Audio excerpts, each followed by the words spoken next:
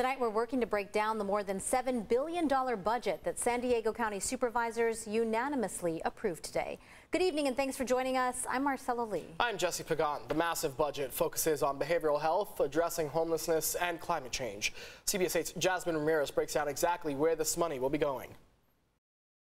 The budget we just approved is the largest uh, investment in affordable housing, in mental health services, substance abuse services, and homelessness in the history of San Diego County. Board Chairman Nathan Fletcher says the budget is $200 million larger than the previous fiscal year. It allows the county to add 115 new positions for behavioral health. The unfortunate reality is, is for far too long as a society, there's been such a stigma around mental health uh, and we're doing everything we can as quickly as possible to catch up. The county is especially focusing on children's needs and has a program at schools to do so. We know that youth have increased needs for behavioral health services in our community, and so we are actively investing in them. The homeless crisis is also top of mind. Are these newer programs? Are these things we've always funded? No, our county's doing things we've never done before.